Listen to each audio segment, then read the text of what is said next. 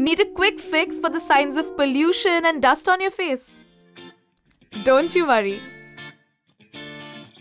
How about a little bit of glitter for that extra glow?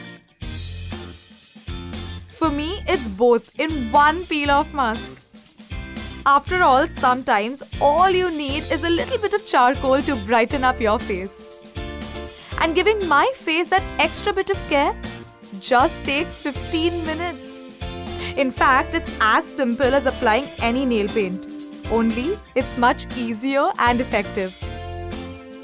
And the results?